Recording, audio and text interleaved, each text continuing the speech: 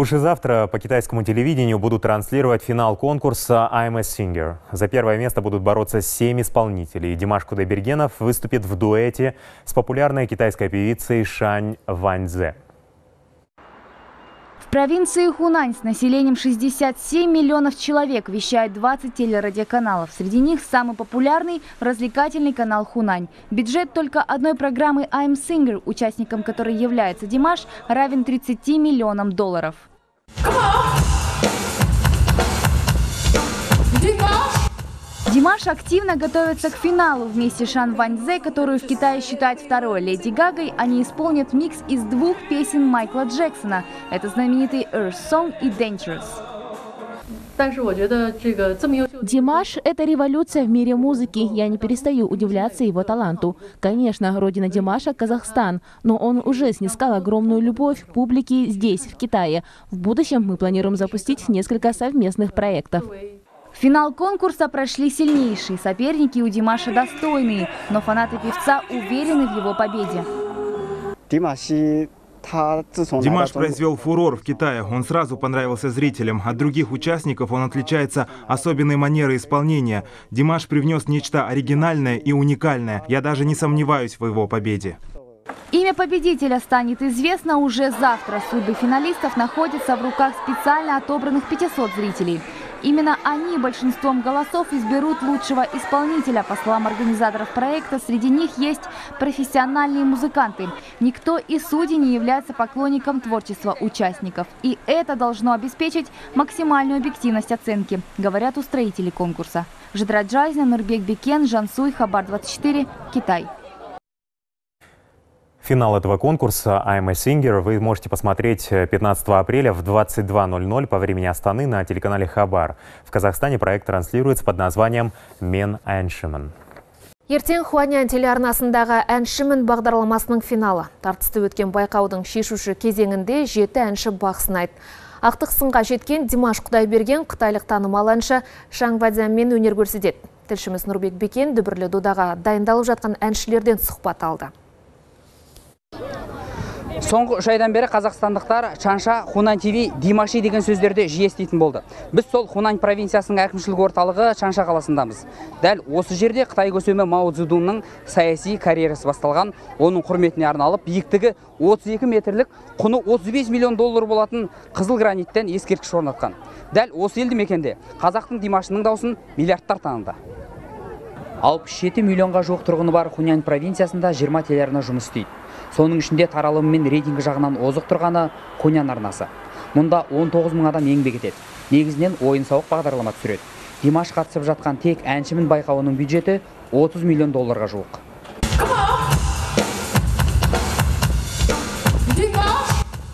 Міне димаш ақтық сынға дайындығын пысықтап жатыр. Финалда қытайдың леди гага саналатын шаң вансемен сахнаға шығады. Олар майкл джексонның әлемге танымал әндерін айтады. Earth song және dangerous хитін қосып микс жасаған.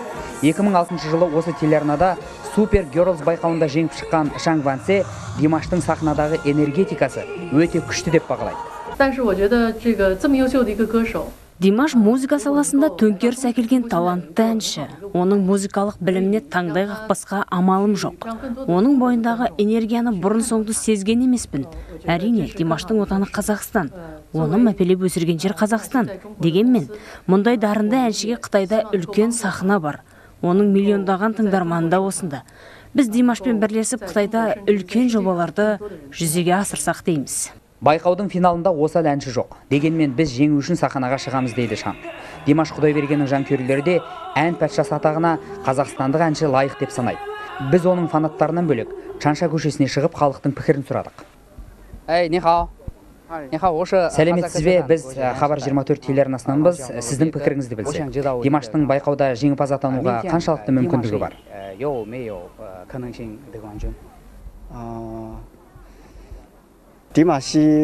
Димаш қытай сахнасында пайда болғалы үлкен жарылыс жасады.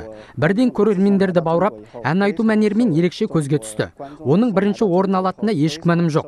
Ол қытай әндерін шырқауда жаңа бағыт әкелді. Бұл жергілікті тыңдарман үшін тосын сый болды. Сонымен жеңімпаз ертең белгілі болады. Байқауды басынан аяқ тамашалап келе жатқан 500 көрермен дауыс беру арқылы ән патшасын анықтайды. Оларды ұйымдастырушылар интернеттен арнайы сауалнама арқылы іріктеп алған. Дауыс беретін көрерменнің қандай да бір әншіге бүйрегі бұрмайтынын тәуелсіз пікір айтатынын таңдаған арасында әншіге сауатты баға бере алатын кәсіби мамандар да бар нұрбек бекен жаңсүй хабар 24 чаншадан Аймас сайысының ақтық сынын 15 сәуірде Қазақстан уақытымен сағат 22.00-де хабар арнасынан тамашалай аласыздар. Біздің елде бұл сайыс мен әншімін деген атаумен көрсетіледі. И начнем выпуск э, с хорошей новости, которая пришла из Китая. Димаш Кудайберген занял достойное второе место на конкурсе Singer. Наш соотечественник получил 18,47% голосов. Он, напомню, спел дуэтом с китайской певицей Шан Ванзе. Вместе они исполнили попури из репертуара Майкла Джексона. Первое место заняла гонконгская певица Сэнди Лам. У нее 22,6% голосов. Она исполнила песню «Возможно, завтра» с известным китайским певцом Джаном Хуэмеем. На третьем месте расположилась тайваньская группа Lion. Победителя определяли 500 человек, находящихся в зрительном зале на финале конкурса. Онсыз он уже победитель потому что в этой стране появилось столько поклонников его творчества а в казахстане их бесконечное количество. В самом начале димаш хотел хотя бы дойти до середины конкурса чтобы продемонстрировать культуру своего народа свой талант показать на что способен. И вот дошел до финала Сонымен сүйінші хабар Қытайдағы әншімін байқауында жерлесіміз Димаш Құдайберген екінші орынды еленді. Бірнеше кезеңнен тұратын өнер додасында жас әнші көптің ықыласына бөленіп, ән айту мәнерімен талайда таңдай қақтырды. Әлемнің күміс көме өнерпаздарының арасында оқ бойы оқшауланып, көрерменнің көз айманына да айнала үлгерді. Осы қуанышты сәтпен Қытайдағы меншікті тілшіміз Нұрбек Бекен тұр. Нұрбек, сіз тікелей эфирдесіз ассалаумағалейкум қазақ елі. Сонымен көпшілік көз тіккен әншімін байқауының жеңімпазы анықталды. Ол 1966 жылы туған гонконг арнайы әкімшілік аймағының тумасы сэнди лем оған залда отырған 500 көрерменнің 22,6 пайызы жақтап дауыс берген. Ал екінші орында әрине біздің димаш. Димаш 18 бүтін жүзден 47 пайыз дауыс алды. Үздік үштікті арыстан немесе лайон тобы қорытындылады. Қазір дәл менің қасында димаштың анасы және музыкалық менеджер тұр. Ә, свет апай аналық ә, жүрегіңіз ә, осы екінші орынды сезді ме? Қандай күйдесіз? Қайырлы кеш қадірлі ағайын ардақты бауырлар. Ең алдымен жеңіс құтты болсын барлығыңызға. Әрине димаштың өте жақсы өнер көрсететінін сездім. Өте ризамыз. Димаш жақсы жоғары деңгейде өнер көрсетті деп санаймыз. Бұл біз үшін де қазақ өнері үшін де үлкен жеңіс. Осынша уақыт ішінде төрт айға жуық тіпті одан да көп жарты жылдай осы байқауға димаш уақытын кетірді. Бұл үлкен еңбектің қаншама төгілген тердің нәтижесі. Бүгінгі таңда шүкір қазақтың өнері қазақтың баласының дауысы жер жаһанға естілді. Әлемге танылып жатыр. Өте ризамыз өте қуаныштымын. Жақсы. Алпамыс жаңа айтып өттік жарты жылдан бері осы қытайда жүрсіз. Қытайдан жалыққан жоқсыз ба? Еңбектеріңіз ақталды ма? Қалай ойлайсыз? Не сезіп тұрсыз? Әрине қайырлы кеш қазақстан. Ә, мен бүгін барлық қазақстанды осы жеңіспен құттықтаймын. Жеңіс деймін себебі бұл ә, дейтін себебім бұл димаштың барлық мақсаттары орындалғаны.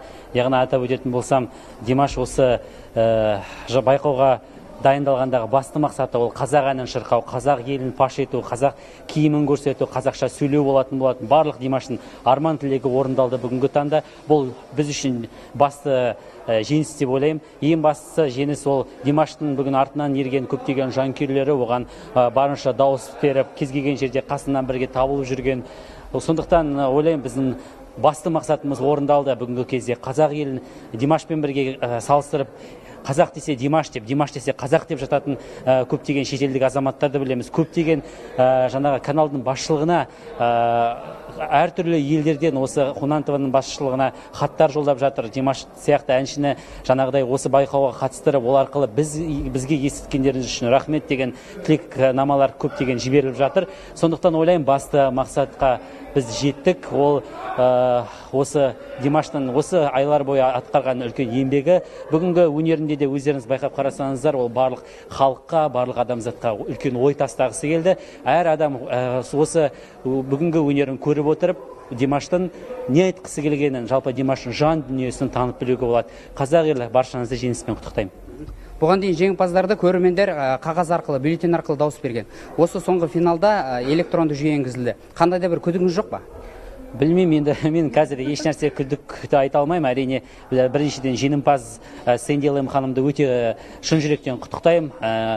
Ал ә, негізінде иә өткен ә, апталардың барлығында да жеңімпазды қағаз бюллетеньмен анықтаған болатын. Ал бүгін өте тез арада электронды нұсқада дауыс беріп анықтады. Енді оны қалай болатынын енді білмейміз. Анасы ретінде димаш қытайда миллиондаған жанкүйер тапты. Үлкен нарық дегеніміз үлкен шоу бизнес деген сөз. Егер қытайда қалып жұмыс істеймін деп жатса рұқсат бересіз бе? Өнерде шекара жоқ деп ойлаймын. Димаш қай жерде қай елде жүрмесін ол ең алдымен қазақтың өнерін көрсетеді қазақтың. Барлық болмысын насихаттайды деп ойлаймын. Сондықтан әзірге әрине димаш қазақ ұлттық өнер университетінің үшінші курсында оқиды. Оқуын жалғастырады елге келіп. Жоғары білімін алып аяқтау қажет. Дегенмен димашқа қазіргі таңда әлемнің түпкір түпкірінен жасыратын жоқ жақсы ұсыныстар түсіп жатыр. Бұл димаш бұл ұсыныстарға әрине міндетті түрде келісім жасайды деп ойлаймын. Себебі бұл ең алдымен димаштың өзін емес барлық бүтін қазақтың өнерін насихаттау үшін әлемге көрсету үшін жасалатын үлкен мүмкіндік. Сондықтан ондай нәрсеге өте қуанамыз. Бірақ қай жерде жүрсе де қай елде өнер көрсетсе де димаш ең алдымен қазақтың баласы соны дұрыс жоғары дәрежеде көрсетеді деп ойлаймын. Бүгін ақтық сынға қолдауға димашқа дем беруге қазақстаннан біршама азаматтар келіпті. Тіпті үлкен делегация келді деуге болады. Оның ішінде қазақстан мәдениет және спорт вице министрі бар екен. Тағы қандай адамдар болды? Айтып жібересіз бе? Димашқа әр қашан қай байқауға бармасын ең алдымен үлкен көмегін көрсететін ол әрине өзі оқып жатқан үлкен шаңырақ қазақ ұлттық өнер университетінің ректоры әлемге белгілі музыкант айман қожабекқызы. Және сонымен қатар еліміздегі белгілі тұлғалар ғалым ахмедияров асхат майемиров димаштың өнерде де өмірде де қасынан жақыннан табылып жүрген ағалары. Рахмет құрметті көрермендер. Сонымен көпшілік көз тіккен әншімін байқауының жеңімпазы анықталды. Ән әнші патшайымы болып бағана ғана айтып өттік. Гонконгтың тумасы сэнди лем ханым жеңімпаз атанды. Ол кісі тайваннан келген белгілі әнші чан хуэмей деген сахна ардагерімен сахнаға шықты. Олар мүмкін ертең деген ән шырқады. Бұл жолы олар оны өзгертіп басқа бастапқы нұсқадан үш есе қиындатқан мыс қойылым аяқталғанда көрермендер орындарынан атып тұрып үлкен қошемет көрсетті. Шынымен де үлкен шоу жасады. Мендегі ақпарат осы. Өздеріңіз біраздан кейін тікелей эфирден көріп жатасыздар Иә, еліміздің абыройын асырған Димаштың жеңісіне әрине қуанышымызда шек жоқ. Миллиардтаған, ел атанған Қытай жерінде жерлесіміздің топ жарып, өз өнерін жоғары деңгейде паш еткені барша қазаққа олжа. Ал осы уақытқа дейін аталған жоба бойынша толыққанды мағлұматтармен бөлісіп отырған әріптесім Қытайдағы меншікті тілшіміз Нұрбек Бекен болатын. Певец Димаш Кудайберген поблагодарил всех, кто поддерживал его выступление. После объявления итогов популярного в Китае телеконкурса «I'm Singer» финалисты, в числе которых был и казахстанец, вышли к прессе, чтобы поделиться впечатлениями. Димаш рассказал журналистам, что хоть и находился вдали от дома, но всегда чувствовал большую поддержку соотечественников. Певец также отметил, что шоу, в котором он участвовал, позволило ему не только продемонстрировать казахское искусство, но и распространить его по всему миру. Особую благодарность Димаш выразил президенту Нурсултану Назарбаеву за представление больших возможностей молодежи. қазіргі таңда емін еркін Хочу выразить огромную благодарность нашему президенту Нурсултану Назарбаеву, создавшему фундамент для развития современного Казахстана. Это дает нам возможности, в том числе и свободно участвовать в конкурсах, которые популярны во всем мире. Қытайда өткен жаһандық байқауда бағы жанған Димаш өзіне қолдау көрсеткен барша қазақстандықтарға алғыс айтты. Байқау қорытындысы шыға салысымен әншілер баспасөз мәслихатын өткізді. Хунан ТВ арнасында дүбірлі додаға қатысқан өнерпаздар өздерінің әсерімен бөлісті. Мен алыста жүрсем де сіздердің демеп шынайы қолдап отырғандарыңызды сездім.